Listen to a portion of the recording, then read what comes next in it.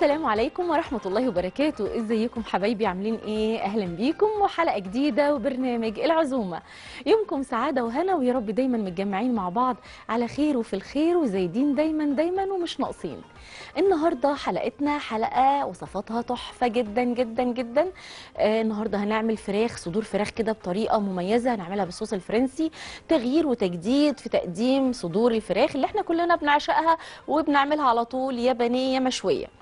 أما الحلو معانا النهارده هنعمل الإكلير والإكلير من الحلويات الفرنسية الشهيرة واللذيذة أعتقد كلنا بنعشقها بس كتير ما بتظبطش معانا فالنهاردة هنقول كل التفاصيل كل الأسرار علشان يطلع معاكي الإكلير زي بتاع المحلات وأحلى كمان.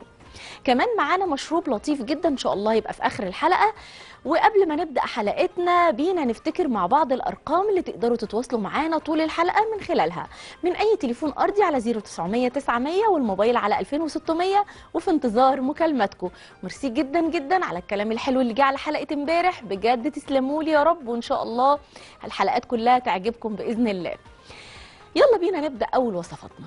أول وصفة معانا هتكون صدور الفراخ بالصوص الفرنسي. بينا نشوف المقادير.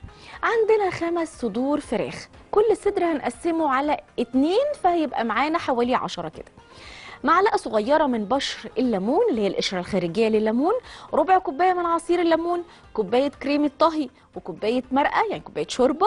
ثلاث معالق كبار من الزبدة وثلاث معالق كبار من الدقيق. معلقة صغيرة من الكركم معلقة صغيرة بهارات فراخ ملح وفلفل أسود. أما التغطية أو الكفر بتاع الفراخ هيكون عبارة عن إيه بقى؟ عندنا كوباية ونص من الدقيق معلقتين كبار من الحليب عندنا كمان كوباية من الجبنة البرمجان أو الجبنة الرومي اللي متوفرة عندك. اتنين بيض زبدة زيت ملح وفلفل أسود. دي المقادير يلا بينا بقى نشوف طريقة التحضير. تعالوا بينا كده. أنا هشغل بس النار على الوك بتاعي عشان يسخن. ويلا نبتدي نشتغل في الفراخ بتاعتنا اللي إحنا غسلناها كويس جدا. ولو إحنا عند بتاع الفراخ ممكن نخليه يقسم لنا الصدر نصين بحيث إن هو يبقى شرايح بس سميكة شوية أو إننا نعملهم كده في البيت. تمام؟ أهم حاجة نغسل كويس قوي وبعدين نصفي تماما علشان ما يبقاش فيه أي سوائل في الفراخ. تعالي بينا بقى إيه؟ بسم الله الرحمن الرحيم. نجهز كده الأول الخلطة اللي هتبقى على وش الفراخ أو اللي هنغلف بيها الفراخ.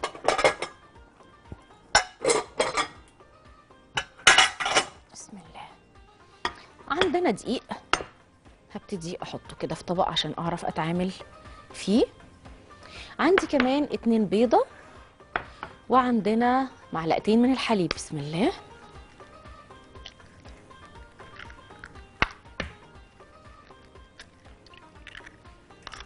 معلقتين من الحليب.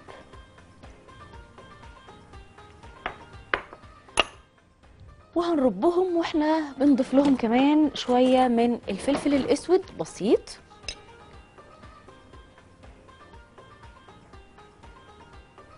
ومش هحط ملح. ليه بقى؟ لأن الجبنة اللي إحنا هنحطها هتقوم بتمليح المكون ده فخلاص إحنا مش محتاجين إن إحنا نحط ملح فيه خالص سواء حطينا جبنة برمجان أو جبنة رومي الاتنين فيهم نسبة ملح فمش محتاجين إضافة ملح هنا خالص. بعد ما ربيت البيض مع الفلفل الأسود واللبن هبتدي أضيف الجبنة بالشكل ده.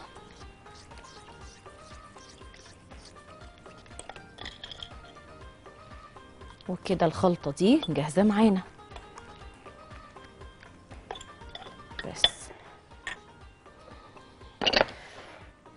تمام. زي ما قلنا المقادير مكتوب فيها جبنة برمجان تقدري تستبدليها بالجبنة الرومي. آه سعرها أخف والدنيا أحسن. دي الفراخ بتاعتنا. تعالوا بينا نجيب بس إيه؟ كده طبق عميق. وهدي للفراخ بتاعتي رشة بسيطة كده من الملح والفلفل. بسم الله الرحمن الرحيم.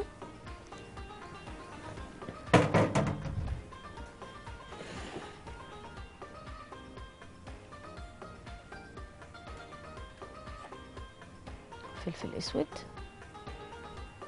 تمام. وهاخد رشة كركم كده صغيرة. وهسيب رشة للصوص. وعندنا كمان آه بهارات الفراخ. تعالوا كده ناخد منها معلقة صغيرة. خلاص يبقى كده إيه؟ مكونات تتبيلة الفراخ ملح وفلفل رشة كركم بسيطة وكمان البهارات بتاعة الفراخ. تعالي بينا بقى نقلب الكلام ده كويس جدا مع بعضه بحيث إن إحنا نشرب للفراخ التتبيلة وتاخد النكهة بتاعة البهارات اللي إحنا حطيناها لها. الفراخ كل ما كانت ناشفة ومغسولة ومتجففة كويس جدا كل ما بيثبت عليها التتبيل وكل ما بيبقى طعمها أحلى. عكس لما تكون الفراخ فيها سوائل ومية بتحطي التوابل وتلاقي السوائل خدت التوابل ونزلت فالفراخ نفسها ما بتبقاش متبلة التتبيلة التمام عشان كده دايما دايما بنغسل الفراخ بتاعتنا كويس قوي وبعدين ننشفها كويس قوي عشان تثبت عليها التتبيلة. زي ما أنتم شايفين كده بصوا الفراخ اتبلت حلو جدا مفيش ولا نقطة مية أصلا خالص فبالتالي كل التوابل ثابتة على قطع الفراخ. حلو كده؟ حلو قوي. خلاص تبلنا الفراخ. يلا بينا بقى نشتغل. هنعمل إيه؟ هبتدي آخد الدنيا تمام معاكم ولا حابين إن أنا أشيل حاجة؟ قولوا لي كده. مكانها؟ تمام زي الفل. يلا. هناخد شريحة الفراخ بعد ما اتبلت كويس قوي. هبتدي أنزلها في الدقيق. كده. ومن الدقيق على الخلطة اللي إحنا عملناها اللي هي كانت بيض وحليب وجبنة مبشورة. سواء جبنة رومي أو جبنة برمجان اللي متوفر عندنا. وأشيلها. إحنا بنقول الأصل فيها إيه وال- والبديل بتاعها اللي نقدر إحنا نوفره إيه.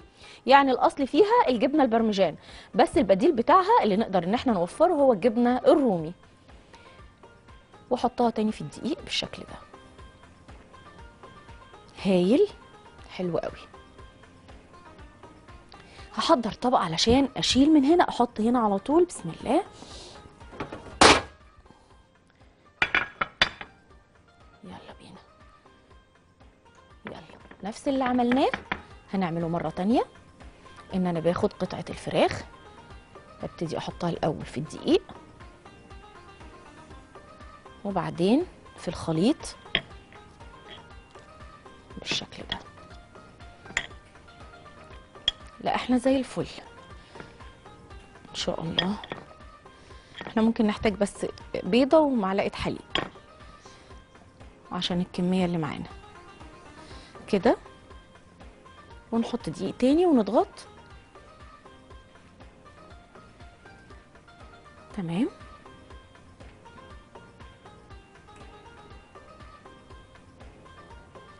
وننفض. يلا. هعمل شوية بس كده على قد ال- الصينية بتاعتي أو الطاسة بتاعتي اللي على النار عشان أملاها وبعدين نبقى نكمل وإحنا بنحمر.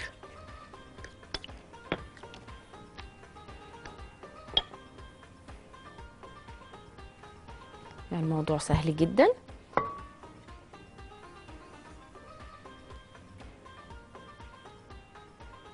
أهم حاجة الضغطة اللي إحنا بنعملها دي بتثبت الغلاف اللي إحنا عملناه على قطع الفراخ. يلا إيه رأيكم؟ واحدة كمان. ونروح بقى على البوتاجاز نشوف الطاسة اللي إحنا حاطينها على النار علشان نبتدي نشتغل فيها.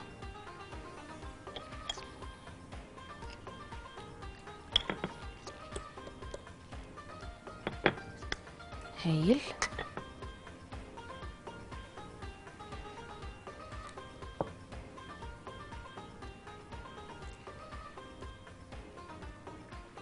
حلو جدا. تمام؟ تمام. عملت كده كمية تكفي إن أنا أحطها في الطاسة بتاعة التحمير. تعالوا بينا بقى. بسم الله الرحمن الرحيم. نقلع ده عشان نعرف نتعامل وبعدين نلبس غيره.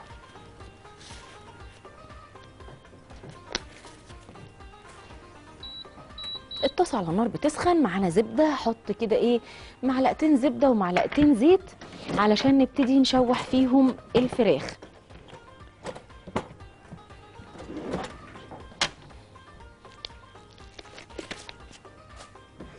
بسم الله الرحمن الرحيم. ادي معلقتين زيت بننزل بيهم الأول علشان لو الطاسة سخنة قوي فالزيت يمتص الحرارة الزيادة اللي عندنا. وبعدين نبتدي نحط بقى إيه الزبدة. هايل. هستنى الكلام ده بقى يسخن كويس عشان أبتدي أنزل قطع الفراخ بتاعتي وأحمرها تحميرة محترمة جدا. تمام؟ وعلى نار متوسطة بدون آه، مواد دهنية كتير. وهنستخدم بقى الطاسة تاني في الصوص. فمش هنهدر أي مواد دهنية معانا. يبقى حطينا معلقتين زيت معلقتين زبدة. وهنسخنهم كويس عشان نبدأ نحمر فيهم قطع الفراخ اللي إحنا حطيناها الأول. تبلناها بملح وفلفل تبلناها كمان ببهارات فراخ ورشة كركم. وحطيناها في التتبيلة ما سبناهاش كتير وبدأنا نجهز الخلطة بتاعه التغليف وكانت عبارة عن دقيق سادة بدون أي إضافات والجزء التاني من التغليف كان بيضتين عليه معلقتين كبار من الحليب عليه جبنة مبشورة برمجان أو رومي اللي متوفر عندنا وبعدين ابتدينا ناخد قطع الفراخ. حطيناها في الدقيق الأول وبعدين نزلناها في خليط البيض وبعد كده رجعناها في الدقيق تاني وبقت جاهزة معانا إن إحنا نبتدي نحمرها. فيلا بينا بقى نشتغل بقى ونحمر كده. بدأ الخليط بتاع الزبدة والزيت على النار أهو ابتدى يسخن. ابتدي آخد قطع الفراخ بسم الله الرحمن الرحيم. وننزلها.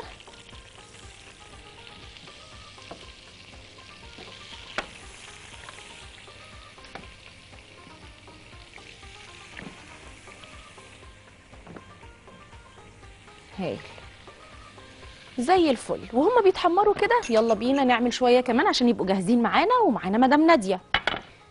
أيوه السلام عليكم. عليكم السلام ورحمة الله وبركاته. أهلا؟ وسهلا. ازيك؟ عاملة إيه؟ لا ما شاء الله عليكي يا مدام فاطمة. حبيبة قلبي تسلمي لي. انت عسل. ربنا يكرمك. وحلوة يا رب... حبيبتي. ربنا يخليكي يا روح قلبي تسلمي لي والله العظيم. عيونك اللي حلوة. يا أختي. ربنا يكرمك يا روحي. انت منين يا حاجة نادية. يديك الصحة يا رب. حبيبتي وإياكي. لحبايبك. آمين يا رب آمين يا رب. وإياكي يا روح قلبي. تعيش يا حبيبتي. نورتينا يا مدام نادية. أنا اكتشفت بقى إن كل اللي اسمهم مدام نادية دول بيقولوا كلام حلو قوي. دي حقيقة والله العظيم. آه مش عارفين إحنا عايزين نطمن عليها والله. مدام نادية بتاعت اسكندرية إن شاء الله تكون بألف خير يا رب. كده. إحنا حاطين على النار بقى الفراخ على نار كده متوسطة. عايزينها تاخد لون وفي نفس الوقت إيه تدخل في السوى التمام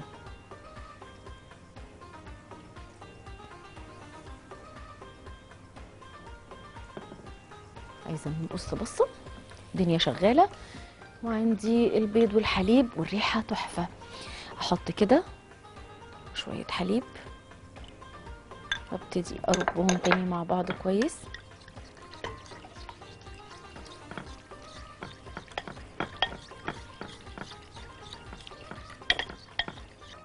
زي الفل. ويلا بقى نكمل. الموضوع بقى سهل خالص وتقديم مختلف وطعم لذيذ جدا لصدور الفراخ المخلية. ومعانا أم معاذ. ألو. ألو ازيك يا شيف فاطمة؟ أهلا أهلا. إزيك؟ عاملة إيه؟ إيه يا حبيبة قلبي؟ الحمد لله في نعمة والله أنا تسلمي لي. بشكر الدكتورة مروة أمام على ان عرفتني على شيفة جميلة زيك. يا روحي من تسلمي لي. كتر شكرها فيكي أقسم بالله زادت معزتك في قلبي جدا جدا جدا جدا. ربنا يكرمك يا روح قلبي ويكرم مروة يا رب حبيبتي الخير. تسلم إيديك يا حبيبة قلبي. تسلموا لي يا روحي تسلموا لي. حبيبتي يا ام معاذ والله. تسلمي لي تسلمي لي. وميرسي طبعا لمروة دايما بتتكلم عليا بكل الخير والله عشان هي إنسانة كلها خير. ربنا يا رب يدي كل واحد يا رب من من إيه من قلبه الحلو إن شاء الله. تعالوا نقلب كده. الله الله. شايفين الشكل بقى عامل إزاي؟ بصوا الجمال. تحفة. الجبنه ساحت بقى وعملت طبقة كده إيه كرانشي كده على الوش. والريحة فظيعة. والطعم بيبقى رهيب. بصوا الجمال. تحفة. يلا مكملين؟ محدش بيتكلم عن حد كويس غير لما بيكون هو أصلا إنسان كويس. يعني دايما كده آه، كل إناء ينضح بما فيه. فربنا يبارك لنا في كل حبايبنا يا رب.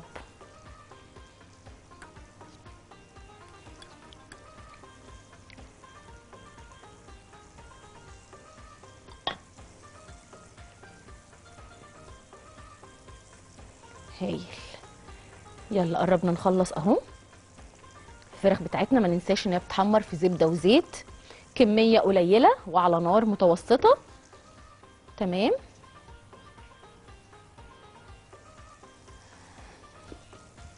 يعني يلا زي الفل إن شاء الله. بصوا كده.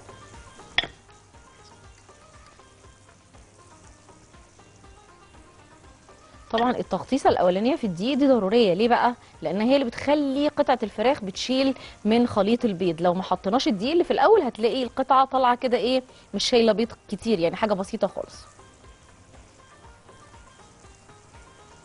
أهم حاجة نضغط كده عشان إيه نثبت الكلام ده على الفراخ. عايزة أبص برضو على اللي على النار. بسم الله الرحمن الرحيم. هايل. مش عايزين نغمق عايزين اللون كده يبقى حلو قوي. إيه الجمال ده؟ فظيع. إحنا عايزين نجهز طبق بقى علشان نخرج فيه اللي اتحمر ونحمر غيره.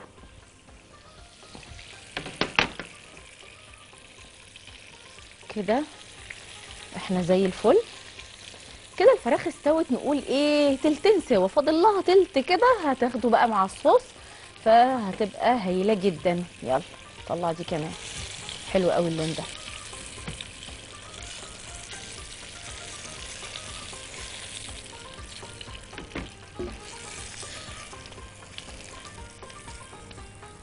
وجري. نجيب اللي إحنا جهزناه وننزله. بسم الله الرحمن الرحيم.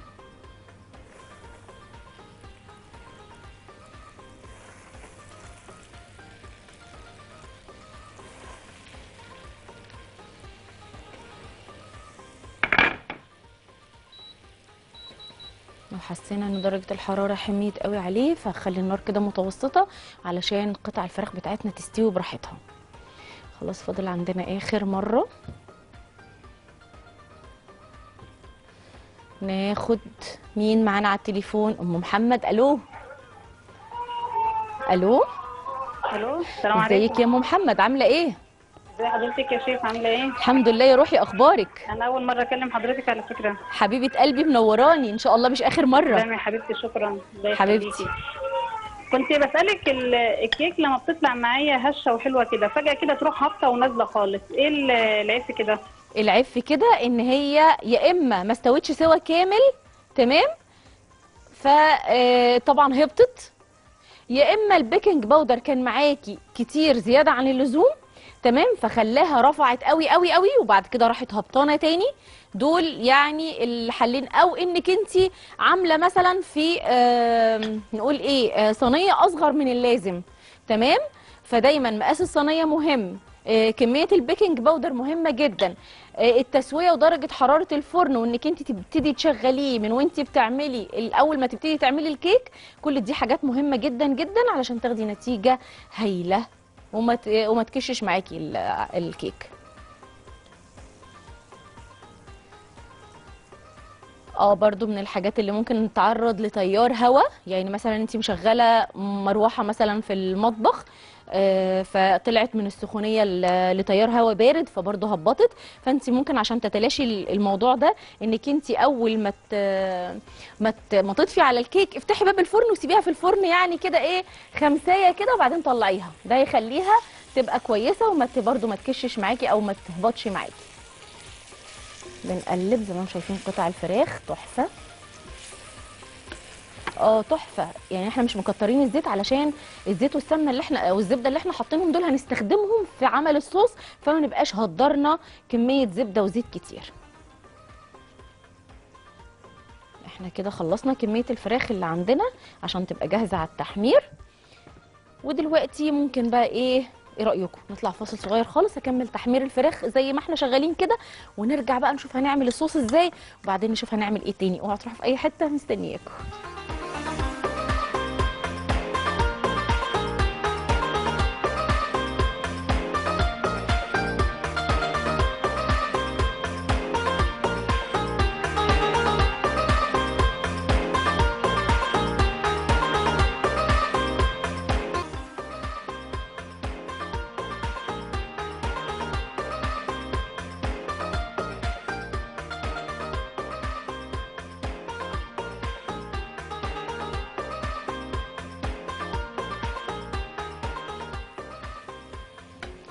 ورجعنا لكم تاني والفراخ بتاعتنا زي ما سبتونا. خلصنا طلعنا اللي في الطاسة وحطينا غيرهم علشان يتحمر وياخد اللون الذهبي الجميل علشان نعمل وراهم. وفي نفس الطاسة وفي نفس المادة الدهنية نعمل الصوص صوص الليمون على الطريقة الفرنسية. بيطلع طعمه حلو جدا مختلف ولذيذ.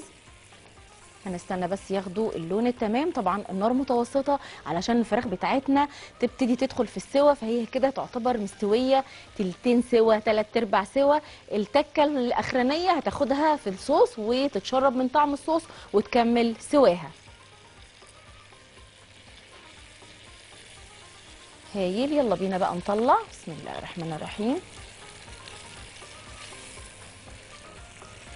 عايزة أقول لكم بقى يعني طالعه كريسبي جدا. زي شايفين؟ ال- الشكل بتاعها عامل إزاي؟ وكل ده متحمره في زبدة وزيت ومش كتير كمان. نسبة بسيطة.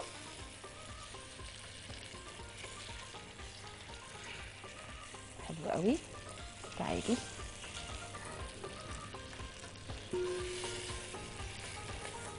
يلا خلصنا تحمير والدنيا تمام. تعالوا بينا بقى إيه نعمل الصوص. في نفس المادة الدهنية اللي عندنا دي هحط معلقتين كده من الدقيق. بسم الله الرحمن الرحيم. ونديهم كده إيه تقليبة. وبسرعة بسرعة معانا الشوربة. بسم الله الرحمن الرحيم.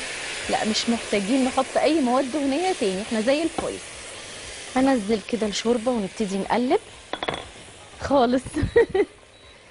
احاول أهدي كده النار عشان أعرف أقلب من غير ما يكلكع معايا.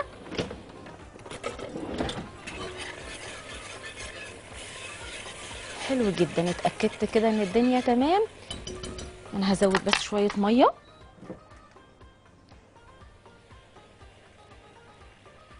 حلو قوي تعالوا بينا بقى نتبل الكلام ده كله. عندنا بشر ليمون عندنا هنحط رشة كده بسيطة من الكركم. كنا تبلنا برشة وهنحط في الصوص رشة عشان يديله لون أصفر كده لطيف بما إنه صوص ليمون. تمام يلا بينا. آدي بشر الليمون وآدي رشة كده بسيطة من الكركم. هدي ملح. على قد الصوص الفراخ خلاص متبلة والدنيا تمام وهدي فلفل أسود. وعندي بقى الليمون والكريمة. الكريمة دي أنا هخليها آخر حاجة. هقلب وهضيف الليمون. تمام؟ قلب كويس. وبينا بقى ننزل قطع الفراخ بتاعتنا علشان نديها غلوة كده بسيطة مع الصوص. بسم الله الرحمن الرحيم.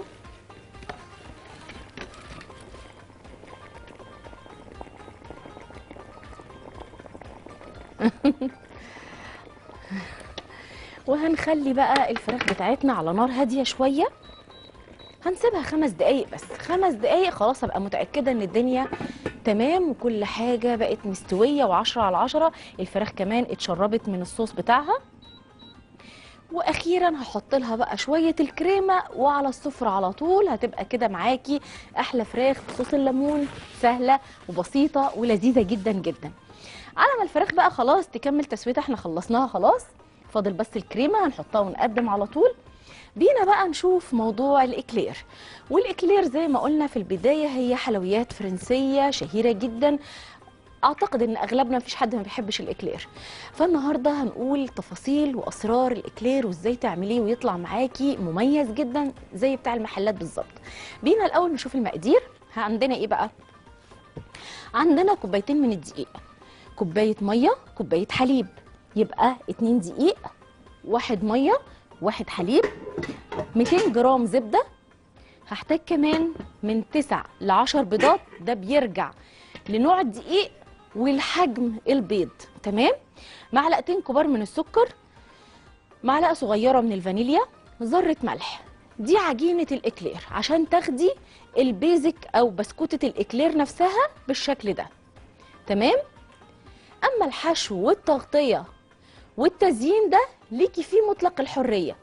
بس في الغالب الأعم إن إحنا بنحشي الإكلير بكريم الباتسير تمام. فالنهارده معانا كريم باتسير للحشو وللتغطية أو للتزيين بقى شوكولاتة بيضة آه، دايبة وشوكولاتة آه، آه، بني آه، دايبة. عندنا كمان ممكن بسكوت آه، لوتس مفروم آه، مكسرات. زي ما انت عايزة بقى ده ليكي فيه مطلق الحرية ده مش إلزام خالص خالص.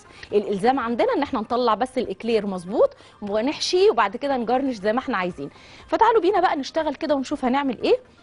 أنا عايزة أنقل الفراخ عشان أحط الاكلير هنا. بسم الله. الفراخ ما شاء الله شغالة والدنيا تمام جدا جدا. هننقلها ونحط بقى الحلة اللي هنبتدي نعمل فيها عجينة الاكلير إيه دي؟ الحلة على النار والحلة هحط فيها كوباية مية وأحط فيها كوباية لبن علشان يسخنوا على النار. بسم الله الرحمن الرحيم. يبقى السوائل عندنا كوبايتين. وهم على النار هبتدي أحط لهم الزبدة وأحط ذرة الملح والسكر. أدي معلقتين من السكر وأدي الزبدة.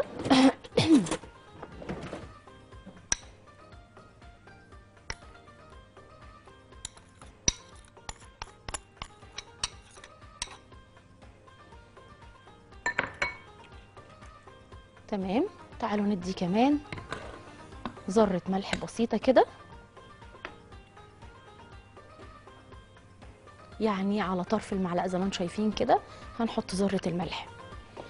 وهستنى إن الخليط ده اللي هو كان عبارة عن كوباية مية كوباية لبن 200 جرام زبدة معلقتين كبار سكر ذرة ملح يغلي. وأول ما يغلي على طول هنتعامل معاه. ودي وده هيكون أول سر من أسرار نجاح عجينة الإكلير أو عجينة الشو عامة. لازم ما تسيبيش ال- السوائل على النار تغلي فترة. يعني هتحطيها على النار وتتشغلي في حاجة تاني وتفضلي شغالة وتنسي دي على النار وبعدين تفتكريها فتجيبي الدقيق وتحطيه. هيكون نسبة السوائل عندك قلت وبالتالي هيغير لك كل المقادير والعجينة هتطلع مش مظبوطة. فضروري نخلي بالنا جدا. آه إحنا عايزين الخليط ده يغلي بس مجرد ما يغلي على طول تكوني مجهزة الدقيق معايراه ونخلاه ومظبطاه علشان تنزلي بيه على طول. متفقين؟ ده كده أول سر من أسرار نجاح الإكلير. هنقلب الكلام ده مع بعضه كويس. وهستنى يغلي وأول ما أشوفه بيغلي هروح جري أجيب الدقيق علشان أحطه. واجهز مضرب كمان معايا. دي المضرب. قوي. ونبص بص على الفراخ بتاعتنا عشان ما ننساهاش. الفراخ شغالة على نار هادية. حلو قوي. وقوام الصوص ولونه حكاية. هايل. دقيقة كمان كده وهضيف الكريمة بتاعتنا علشان تغلي غلوة. وخلاص هتبقى على التقديم على طول. الزبدة طبعا هتسيح دلوقتي تماما وأول ما الخليط يغلي على طول مش هيكون ليها أي أثر. وأدي الدقيق. طيب هل الدقيق هنا آه لازم لازم له دقيق معين؟ يعني لازم يكون دقيق مخبوزات من الدرجة الأولى؟ لا خالص هو ممكن دقيق متعدد الاستخدام عادي جدا هينفع وهيبقى زي الفل. وأنا واقفة للخليط عشان أول ما يغلي أنزل الدقيق على طول.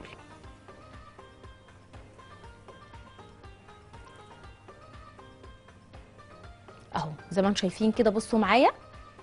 بدأ الخليط يغلي معانا أهو. بس كده هو ده المطلوب. أول ما يغلي بالشكل ده يلا دقيقك منخول والدنيا تمام ومعايراه. هننزل دول كوبايتين من الدقيق ونقلب وبسرعة بالشكل ده. ومعانا مين؟ معانا تليفون. معانا مدام هبة. ألو؟ مساء الخير يا شيخ فاطمة. مساء الفل. ازي حضرتك؟ الحمد لله يا روحي أخبارك؟ الحمد لله بخير تسلم الحمد لله. تسلمي لي يا روح قلبي تسلمي لي. الله يخليكي. أنا عندي استفسار عن الزبادي اليوناني لو عايزة أعمله في البيت. حاضر سهل جدا على فكرة. فاكهة طازة مش مربى. فاكهة طازة مش مربى. لا؟ بصي مش هينفع تعملي الزبادي فاكهة طازة إلا لو قبل الأكل على طول. تمام؟ لأن الفاكهة مع الزبادي بتجيب ميتها وهتخليه يفك مش هيربط معاكي. فاهمة قصدي إيه؟ فلازم الفاكهة الطازة يعني نعمل الزبادي لوحده والفاكهة الطازة نحطها عليه وناكله طازة. ده أفضل حاجة. والزبادي اليوناني إحنا عملناه قبل كده يا ريهام وتعالي لو نقدر ننزله ننزله أو إن إحنا نعمله تاني. ونورتينا يا مدام هبة. بصوا بقى. أنا بعمل إيه دلوقتي؟ أنا بسوي الدقيق بتاعي على نار هادية. أنا وطيت النار تمام؟ بصوا العجينة بدأت تبقى عجينة ناعمة. بصوا العجينة ناعمة إزاي؟ بنقلبها على النار قد إيه؟ هما دقيقتين مش أكتر من كده. بالظبط.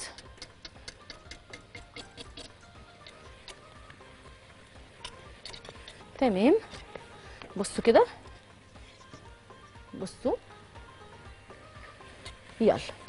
أنا كده خلصت هشيل بقى العجينة بتاعتي من على النار تماما وابتدي أنزلها في العجان. لو عندي عجان ما عنديش عجان يبقى ممكن نستخدم المضرب الكهربائي. لأن المضرب اليدوي هنضرب نضرب كتير هو هينفع يتعمل بس هيبقى تقيل على إيدينا شوية. طيب الزبادي بقى الزبادي اليوناني هو هو ومفيش فرق ما بينه وما بين الزبادي البلدي غير حاجة واحدة بس إن إحنا بنصفيه بشاشة علشان بيبقى تقيل. نفس الكلام بعد ما بنعمله زبادي بلبن آه كويس يكون كامل الدسم. وبعد ما نعمله بالطريقة المعتادة للزبادي البلدي بنعمل إيه؟ بعد ما بيربط معانا بنحطه في شاشة عشان ينزل السوائل اللي فيه فبيبقى كريمي أكتر وتقيل أكتر. تمام؟ تعالوا بينا ننزل بقى الخليط ده. بسم الله الرحمن الرحيم. هايل. العجينة سخنة نار مش هينفع طبعا أحط ال- البيض دلوقتي. لأني لو نزلت البيض عليها دلوقتي البيض هيستوي وهيكتل فيها. طيب الحل إن أنا ببتدي أشغل العجان وهوي العجينة بتاعتي أطلع منها السخونية اللي فيها. يلا بينا.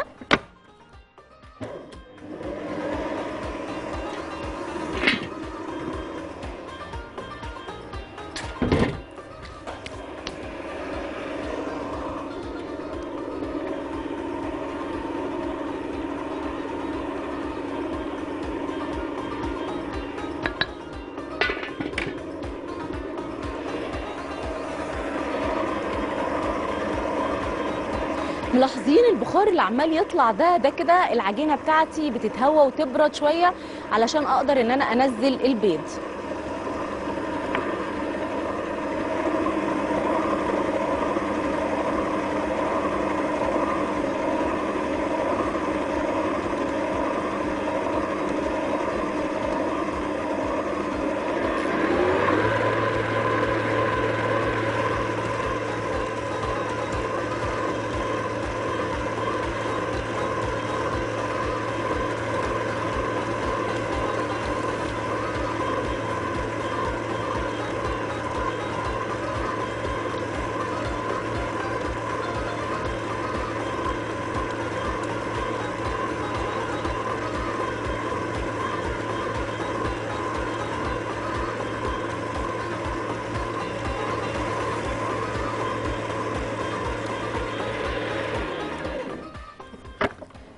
احس كده إن البخار بدأ خلاص يقل خالص خالص أبتدي أنزل البيض.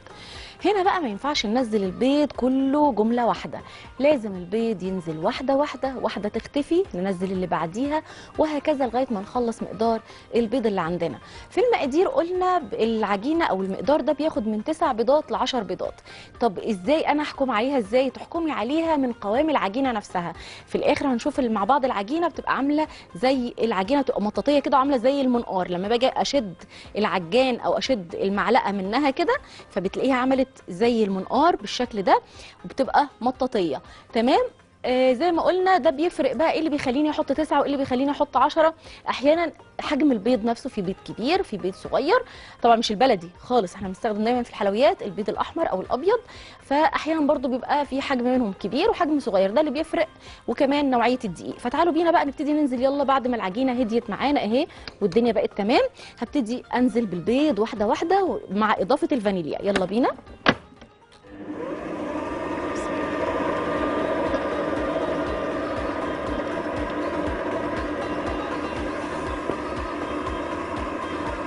ما تجيبوا لي المضرب السلك يا جماعة.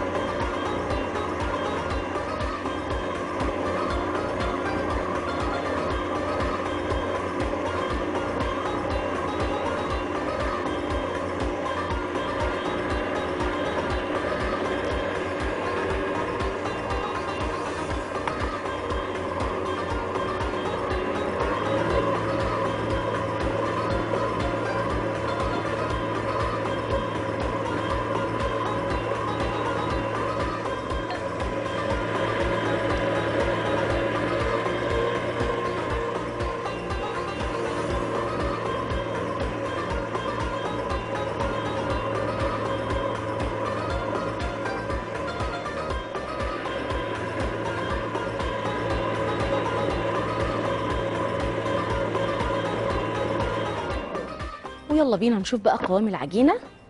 بصوا تعالوا كده. بسم الله الرحمن الرحيم. نشيل بس ده خالص. ونبص مع بعض كده عايزة أوريكم قوام العجينة. يعني معايا أهو الأداة بتاعة المضرب. بصوا لما أجي أرفع كده شايفين ده؟ شايفين المثلث اللي نازل ده؟ ده المنقار اللي إحنا بنقول عليه. فكده لما أعمل كده ويعمل معايا الشكل المنقار ده أنا كده تمام العجينة بتاعتي مظبوطة جدا جدا عشان كده حطي البيض واحدة واحدة بحيث إن هو ممكن ياخد منك يا تسعة يا تمانية يا تسعة يا عشرة على حسب حجم البيض. إحنا كده خلصنا وعجينتنا بقت جاهزة تماما إن إحنا نحطها في الفرن تمام؟ الفراخ زي الفل. عايزين نحط لها الكريم عشان نقدمها كمان. وناخد فرح. ويا فرح ألو؟ ألو إزيك يا شيخ فاطمة؟ إزيك يا روح قلبي عاملة إيه؟ الحمد لله إيه أخبار الأخبار؟ الحمد لله يا روحي منوراني. فاطمة ساعة ما كنت عاملة فطاير المقلية وقلت لحضرتك إن أنا هجربها. آه فاكرة. كده افتكرتك. أيوه جربتها وكان طعمها حلو قوي. يا روحي ألف هنا. حشيتيها إيه بقى؟ احكي لي. إيه؟ حشيتيها إيه؟ حشيتها جبنة موتزاريلا وحشيتها فراخ. الله عليكي. الله. أنا بحب قوي حضرتك بس ممكن حضرتك تبقي تنزليني طريقة البيتزا عينيا الاتنين حاضر. يلا بقى ابقي جربيها كمان. أيام الدراسة بقى اعمليها تحطيها في اللانش بوكس هتبقى تحفة. نورتينا يا فرح. كده كويس؟ تسلموا خلاص كده أنا هنتظر بس الفراخ تغلي غلوة واحدة بس وهي كده جاهزة على التقديم زي ما أنتم شايفين شكلها. آه، يفتح النفس أو يشهي زي ما بنقول كده. تحفة ما شاء الله. هغطي عليها غلوة واحدة بس وخلاص هتبقى جاهزة معانا نروح بقى لعجينتنا فين كيس الحلواني يا جماعة؟ الكيس الكبير بقى. آه زي الفل.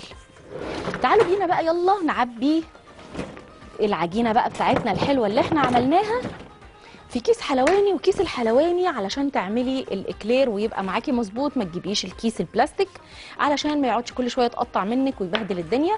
فيفضل الكيس القماش أو في أكياس بلاستيك كده بتبقى قوية وبتتحمل. هنحط فيها التب أو البلبلة اللي هي بنعمل بيها بلح الشام أو أكبر كمان يبقى أفضل بالشكل ده. وتعالوا بينا يلا نعبي. وإيه رأيكم؟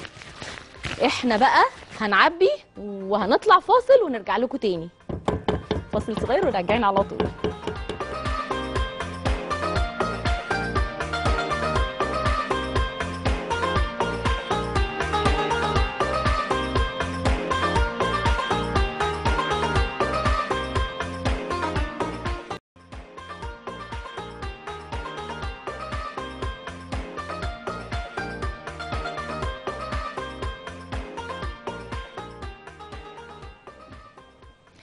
ورجعنا لكم تاني وعبينا خلاص العجينة في الكيس الحلواني اللي يكون متين وحطينا البلبلة بتاعه بلح الشام التخينة. تمام؟ وتعالوا بينا يلا نشكل بس هجيب مقص الأول عشان نقص بيه على طول. يلا بينا.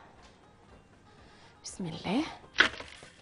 طبعا الصاج اللي أنا هشتغل فيه واللي هسوي فيه يفضل يكون من الألومنيوم. يا إما نفرشه آه ورق زبدة أو إن إحنا نحط مفرش سيليكون أو إننا ندهنه دهنة خفيفة بالزيت. في ثلاث اختيارات. تمام؟ وتعالوا بينا. يلا نبتدي نقطع. بسم الله الرحمن الرحيم.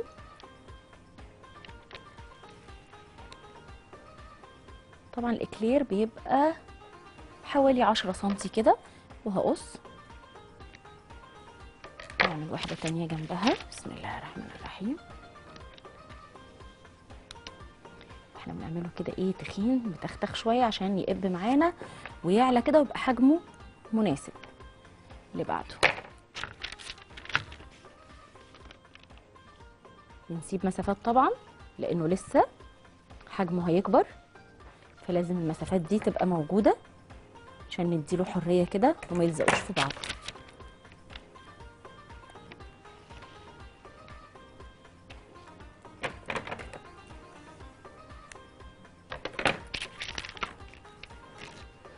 نقدر نصغر؟ طبعا نقدر نصغر نعمل حجم صغير زي ما إحنا عايزين. الطول والعمق نفسه أو ال- الحجم نفسه تقدري تتحكمي فيه براحتك خالص. ممكن نعمله ميني. هي نفس العجينة وانت ليكي فيها مطلق الحرية. طيب. شكلنا وخلصنا وعايزين نخبز هنخبز على درجة حرارة كام؟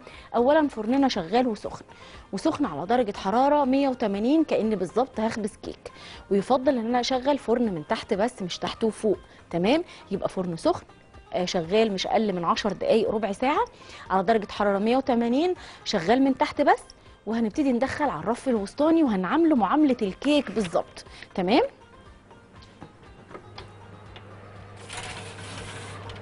طيب دخلناه الفرن وقفلنا عليه زي ما قلت لك بتعمليه معاملة الكيك. يعني إيه؟ يعني ما ينفعش أفتح عليه الفرن كل شوية. سيبيه 40 دقيقة ما تجيش جنبه تماما خلاص؟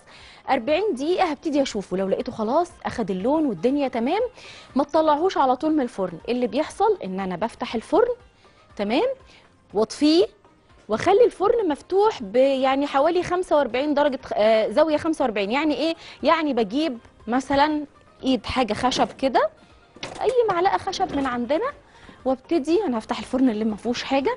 وبعدين بعد ما أطفي عليه خلاص استوى. بعد 40 دقيقة 45 دقيقة استوى بطفي وابتدي أفتح الفرن وأحط دي كده لو الفرن بيثبت تمام ما بيثبتش فبقى بحجزه بمعلقة كده بحيث إن هو يبقى موارب فيطلع لي الهواء السخن ويدخل هواء بارد بالراحة خالص علشان الإكلير ما يهبطش معاكي. بس كده هيطلع معاكي 10 على 10 هتسيبيه يبرد وبعد كده تبتدي تتعاملي معاه تحشيه وتشكليه وتزينيه زي ما انت عايزة. حاجات بسيطة بس بتفرق جدا جدا. طيب إحنا دلوقتي معانا بقى الإكلير بعد ما بيطلع من الفرن وبيبرد لازم يبرد طبعا عشان نعرف نتعامل معاه. كريم باتسير ممكن نجيبه آه، جاهز من المحلات مست- مستلزمات الحلواني أو من أي سوبر ماركت وبنخلطه وبنضربه بالمضرب وبيبقى جاهز معانا إن إحنا نبتدي نحشي بيه وحدات الإكلير بالشكل ده. تمام؟ يلا. دي طريقة للحشو إن أنا بفتحه زي الساندوتش كده وأحشيه. طب في طريقة تانية إن أنا بحشيه من هنا بفتح له بالسكينة فتحة صغيرة من هنا ومن هنا وبوز بقى ال ال ال إيه الكيس الحلواني يكون فيه طب اللي هي المعدن الرفيعة ونحشي كده بحيث إن هو يبقى مقفول تماما ويا دوبك واخد بس الحشو بتاعه من تحت.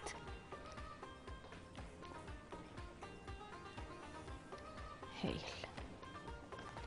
كمان نقدر إن إحنا نضيف كريم شانتيه مع كريم باتسير ونضربهم مع بعض بيبقى طعمهم حلو جدا جدا. حاضر. طيب إحنا كده حشينا. تمام زي الفل. شايفين من جوه أنا عايزة أوريكم بس من جوه هشه قد إيه. مفرغ كده. بصوا في منتهى الجمال. مين معانا؟ كده. أهو. باين خالص معانا هشه قد إيه. تحفة. يلا. دي مقفولة. طب نجيب سكينة ونفتحها. ويفضل لو هنفتح كده هنتعامل معاه زي ال- العيش بيبقى بالترانش اللي هو مشرشر. ده أفضل بالشكل ده وده كمان.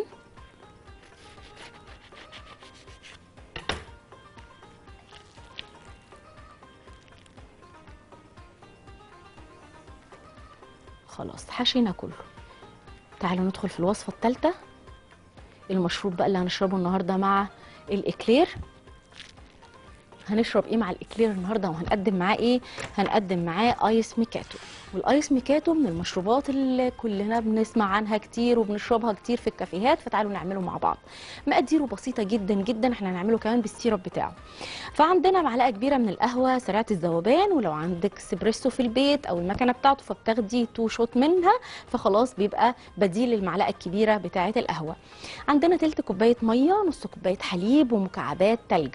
وال syrup هيبقى عبارة عن ربع كوباية من السكر البني وربع كوباية سكر أبيض وكمان كوباية مية ومعلقة صغيرة من الفانيليا. تعالي كده نعمل ال syrup علشان هو اللي هياخد معانا وقت ومحتاجين إن إحنا نعمله ونبرده كمان. ال syrup ده يا جماعة مش على قد المشروب ده يعني أو الحبة اللي إحنا هنعملهم لا ده آه، syrup هتقدري تحفظيه في إزازة في التلاجة تتعاملي بيها في المشروبات زي الفل. تعالوا ناخد بقى السكر الأبيض والسكر البني ونحطهم مع بعض على النار. تمام. وهحط بس معاهم شوية مية صغيرين يا دوبك أبل بيهم السكر. بسم الله الرحمن الرحيم. أحط كده على الحروف. بس كده. وأسيب بقى السكر إيه يبتدي يسيح ويتكرمل براحته خالص. تمام. وتعالوا بينا بقى نشيل الفراخ اللي بقت فظيعة. استوت واتظبطت وبقت زي الفل. تمام. يلا بينا. ناخدها بقى علشان نقدمها. بسم الله الرحمن الرحيم. فين الشوكولاتات السايحة اللي هن... هنزين بيها؟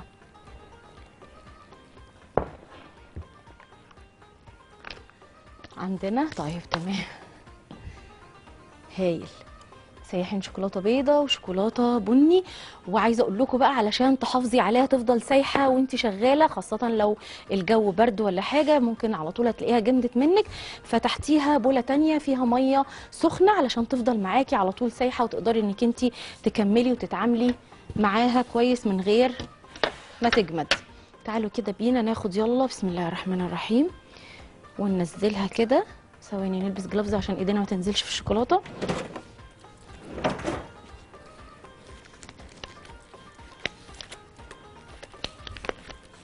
زي ما قلنا بقى التزيين ليكي فيه مطلق الحرية. اللي متوفر عندك تقدري تزيني بيه زي ما انت عايزة. إيه دي؟ الشوكولاتة. هنغطس كده ونطلع ونحط بقى كده. عايزة أقول لكم إن القطعة الواحدة من الإكلير مش عايزة أقول أرقام بس تتراوح يعني ما بين 20 ل 40 وأكتر على فكرة. يعني لو هنجيبها من الفرن يا جماعة ما فيش مشكلة. يعني خلينا ندي يعني أرقام في المتوسط. ف آه، يعني إحنا آه، عشان ما حدش يقول بس إن إحنا عاملين حاجة ومكلفة ومش مكلفة ولا حاجة قصاد إنك انت بتشتري الواحدة نفسها بأسعار بجد خزعبلية. وهي أصلا تكلفتها مش مش كتير تمام؟ فجربوا يا جماعة في البيت وقلنا كل الأسرار عشان يطلع معاكي 10 على 10 ولو عندنا بقى مناسبة ممكن نعمله ميني صغنن خالص فبيبقى بصراحة بيفرط معانا بقى مش قادرة أقول لكم بيفرط. المقدار اللي إحنا عاملينه ده بيعمل حوالي 20 قطعة.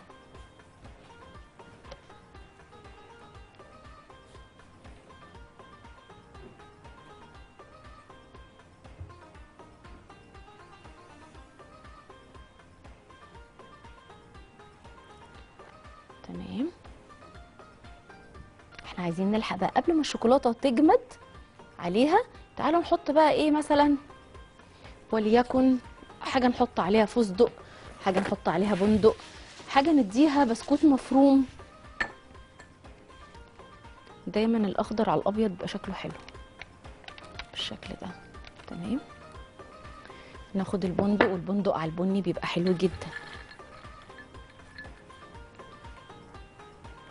أهم حاجة والشوكولاتة لسه إيه؟ لسه آه طرية علشان يثبت عليها ويمسك وما يقعش. حاضر عينيا. ممكن نحطه كده نصاص ممكن نجرشه ونحطه مجروش. ممكن كمان نعمل كورنيه من الشوكولاتة البني والشوكولاتة البيضاء ونبدأ إن إحنا الشوكولاتة البيضاء نديها كده زجزاج بالشوكولاتة البني والشوكولاتة البني نديها زجزاج بالشوكولاتة البيضاء وده اللي أنا هعمله دلوقتي. بس هنطلع فاصل صغير ونرجع لكم على طول. هقلب بس الكراميل قبل ما نطلع. بصوا وهنسيبه يكمل كرملة وياخد اللون بتاعه ونرفعه من على النار على طول. إيه رايكم هنطلع بقى فاصل صغنن خالص خالص ونرجع على طول. اوعى تروح في أي حتة مستنياكم.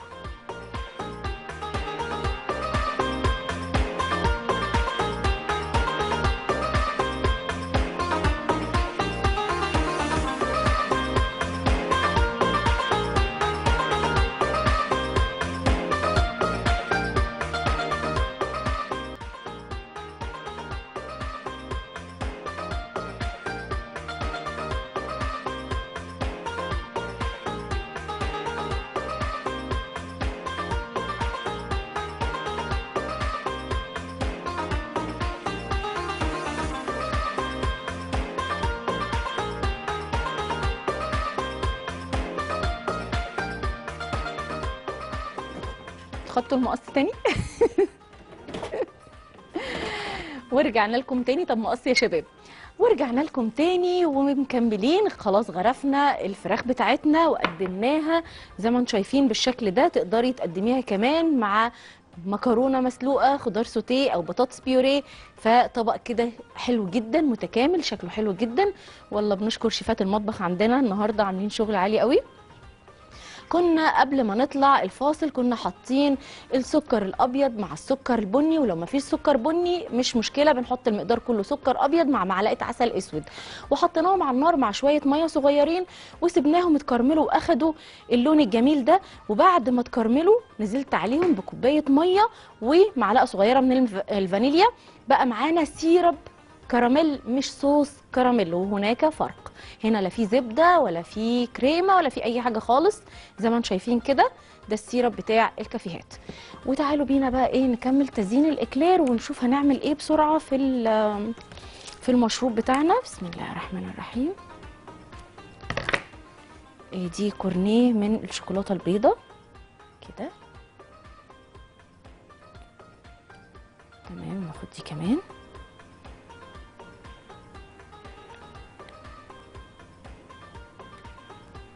زي ما قلنا التزيين براحتك بقى خالص. ليكي فيه مطلق الحرية. ممكن كمان على اللي هي ال- اللي إحنا مغطسينها في الشوكولاتة البيضاء نحط عليها شوكولاتة بني. بسم الله.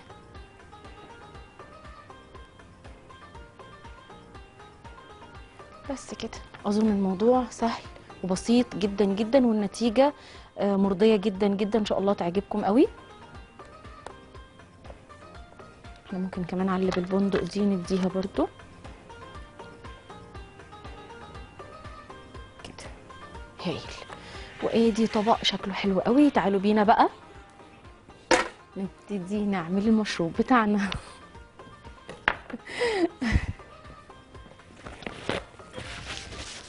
قلنا قلنا في المقادير بتاعتنا إيه؟ عندنا الحليب. متلج وعندنا القهوة سريعة الذوبان. تعالوا نحط شوية بس مية صغيرين كده ندوب فيهم مية دافية كده. هندوب فيها القهوة.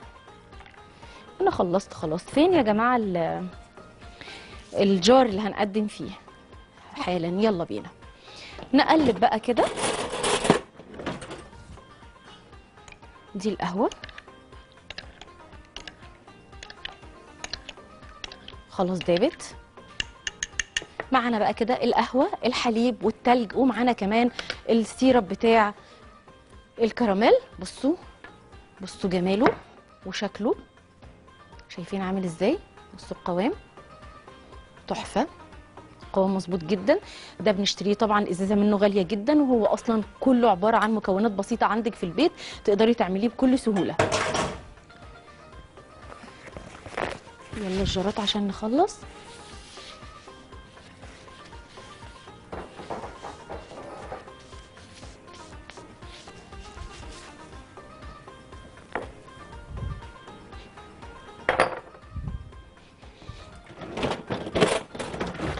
تعالوا ناخد بقى من صوص الكراميل كده ونحط في الجار بتاعنا.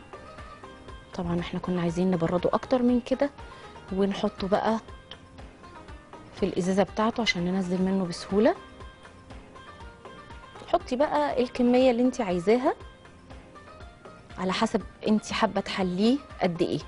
كل واحد طبعا وذوقه.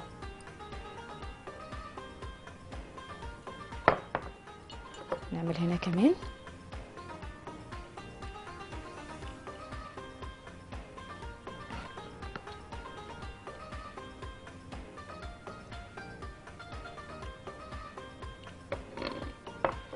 ناخد بقى شوية تلج كده. بسم الله الرحمن الرحيم.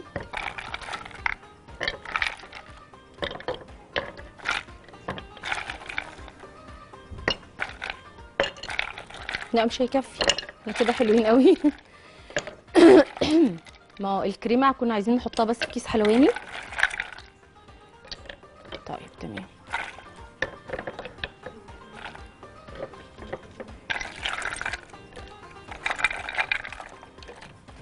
تلج أساس الموضوع. تعالوا نحط بقى الحليب. بسم الله الرحمن الرحيم.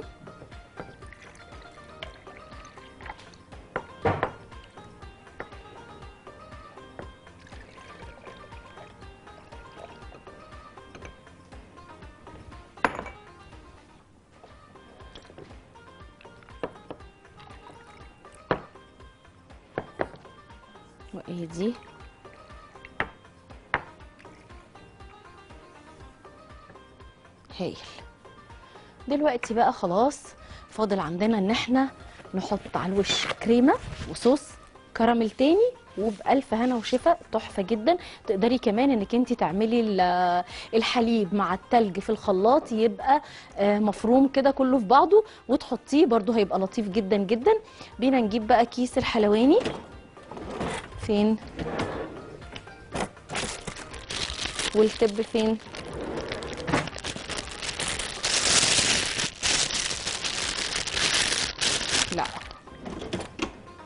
مش هنا.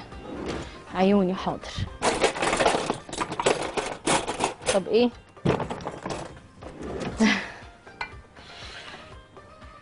خلاص مفيش مشكلة. مش لازم تبقى نحطها كده.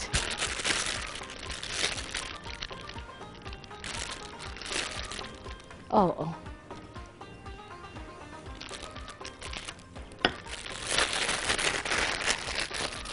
تعالوا نفتح بقى كده. بسم الله الرحمن الرحيم.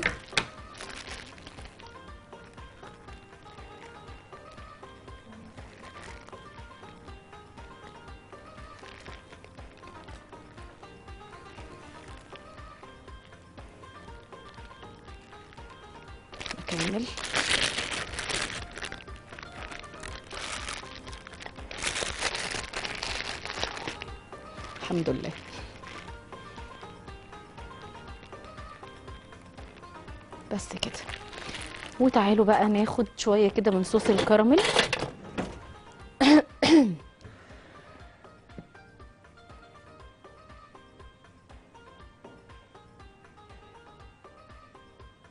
وهنا كمان. دايما لما يكون عندك إزازة آه، اللي هي بتاعت الصوص الكراميل لما تفضى ما ترميهاش استخدميها تاني انك انت تعملي بنفس اللي إحنا عملناه ده وتحطيه فيها علشان يبقى سهل انك انت تنزليه وتوزعيه عليها. إيه رايكم يا جماعة؟ إحنا كده خلصنا خلاص خلصنا وصفات النهارده. كنا عاملين مع بعض بقى إيه فراخ بالكريمة الفرنسية. كمان عملنا مع بعض الإكلير وقلنا كل التفاصيل علشان يطلع معاكي مظبوط جدا زي المحلات وأحلى كمان. كمان عملنا مع بعض ال ice macchiato. دي كانت كده إيه وصفاتنا النهارده. يا رب تكون نالت اعجابكم. هستنى تعليقاتكم وتطبيقاتكم اللي دايما بتساعدنا على بيدج البرنامج العزومة مع فاطمة أبو حاتي والبيدج بتاعتي فاطمة أبو حاتي بالعربي بالانجليزي أستودعكم الله. والسلام عليكم ورحمة الله وبركاته.